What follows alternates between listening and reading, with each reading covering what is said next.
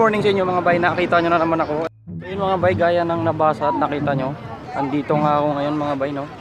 Ayan, kung nakikita nyo. So ito yung huling araw niya ngayon. Dito sa Taipei. So, susulitin ko ang pagkakataon mga bay. Ah, masaksiyan to dahil ito niya yung huling araw niya.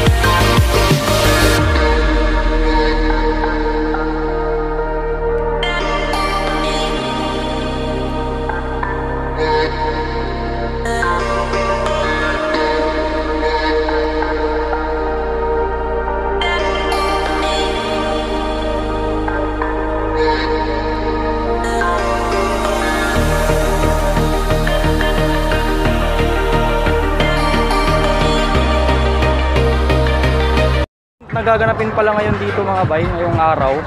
Ito ay yung, ayan, uh, Red Bull, yung sa Red Bull to. Ayan, mababasa nyo. Ayan, so ngayong araw gaganapin sa mga gustong manood, punta na kayo dito.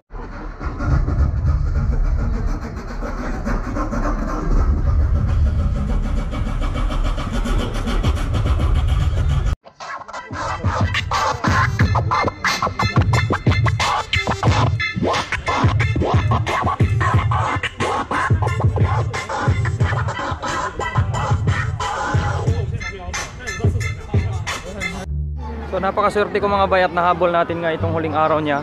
Ng panahon mga bay kasi kahit medyo tirik yung araw, malamig naman yung parang ano ng hangin, hampas ng hangin. So balance lang yung lima.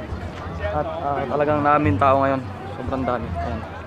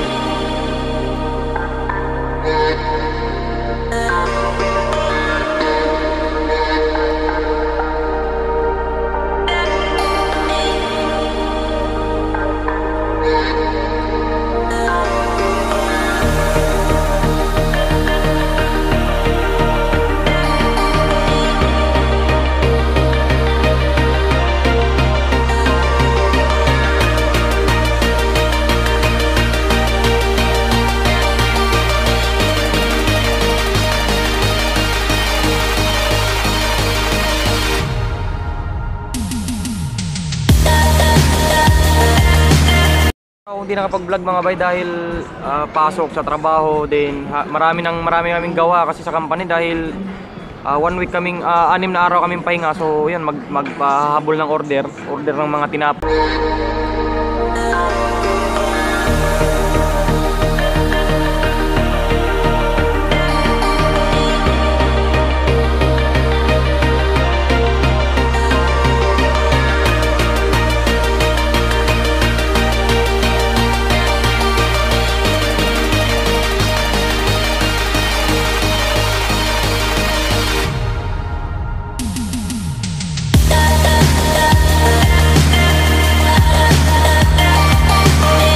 Tatapusin tong video na to mga bay. Maraming maraming salamat sa inyong panonood. Like, comment, subscribe na rin kayo. At ah, lagi nyo tatandaan mga bay sa kabila ng ups and down ng ating buhay. Tatlong bagay lang yan mga bay. Love, pray lang mga bay.